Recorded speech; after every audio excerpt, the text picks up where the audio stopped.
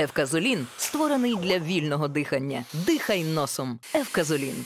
І розпочинаємо ми з оперативної інформації. Росіяни щойно атакували Запоріжжя під вогнем житлові будинки та острів Хортиця. Повідомляє про це офіс президента. Вибухи пролунали за кілька хвилин до оголошення повітряної тривоги.